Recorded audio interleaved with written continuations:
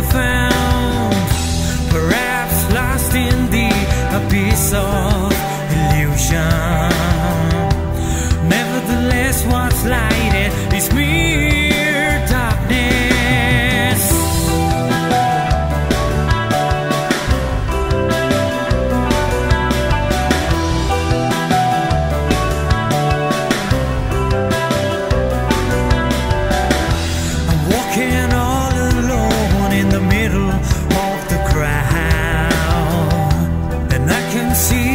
stranger inside.